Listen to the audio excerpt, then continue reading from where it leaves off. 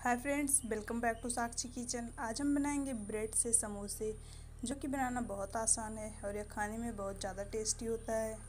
या नॉर्मल समोसे से ज़्यादा ही खाने में टेस्टी लगता है। तो अगर आपको हमारा यह वीडियो पसंद आए तो प्लीज़ लाइक करना ना भूलिएगा। और ऐसी मेरी सिंपल एंड डिलीशियस रेसिपी पाने के लिए मेरे चैनल को सब्सक्राइब करके बेल आइकन ज़रूर प्रेस कीजिएगा। तो चलिए हम स्टार्ट करते हैं ब्रेड से समोसे बनाना। समोसा बनाने के लिए सबसे पहले हम उसकी स्टफिंग बना लेते हैं। तो स्टफिंग बनाने के लिए यहाँ हम सबसे पहले बनाएँगे मसाला। तो यहाँ पर हम लिए हैं एक चम्मच जीरा और अब इसमें डालेंगे एक चम्मच मेथी दाना, चम्मच साबुत धनिया। साथ ही इसमें डालेंगे एक चम्मच सौंफ। और इन सभी को हम हल्का सा भून लेंगे।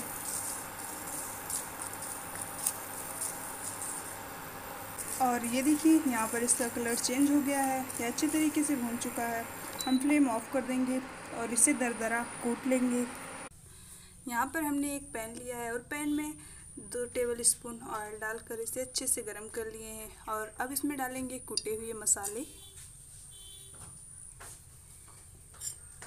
और साथ ही इसमें डालेंगे दो कटी हुई हरी मिर्च। और अब इसमें डालेंगे एक कटा हुआ प्याज। और इन सभी को हम अच्छी तरीके से मिक्स कर लेंगे। और प्याज के हल्के से सॉफ्ट होने तक इसे पकाएँगे। ये देखिए, यहाँ पर प्याज थोड़े से सॉफ्ट हो चुके हैं। और अब हम इसमें डालेंगे हाफ़ टी स्पून हल्दी powder. One fourth spoon garam masala,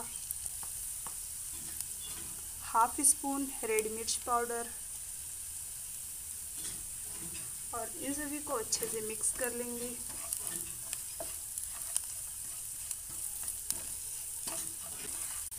और ये देखिए, यहाँ पर मसाले अच्छे तरीके से भून चुके हैं और अब हम इसमें डालेंगे एक कप उबले हुए मटर। और इसे अच्छे तरीके से मिक्स कर लेंगे।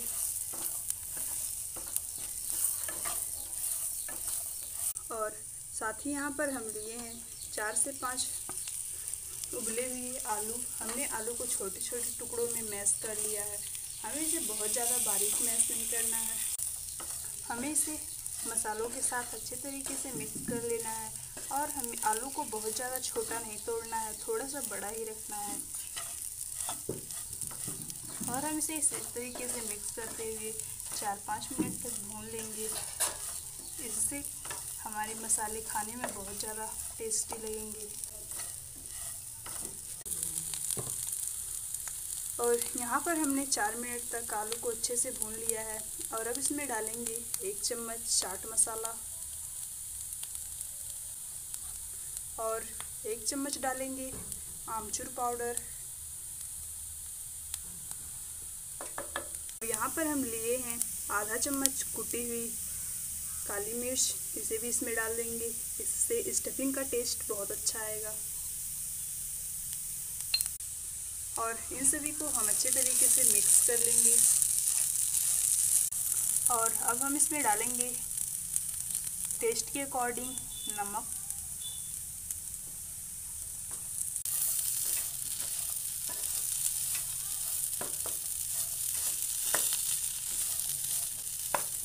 हम इन सभी मसालों को डालने के बाद इसे दो मिनट तक और भून लेंगे। और यहाँ पर हमने स्टफिंग को दो मिनट और अच्छे से भून लिया है।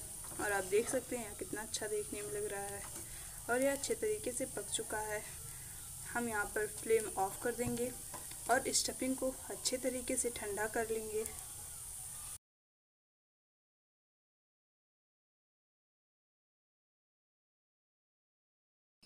और यहाँ पर हमने स्टफिंग को अच्छे से ठंडा कर लिया है। तो चलिए अब हम ब्रेड समोसा बनाना स्टार्ट करते हैं।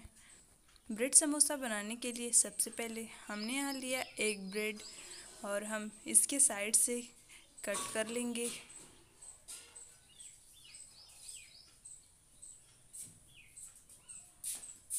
ब्रेड को कट करने के बाद हम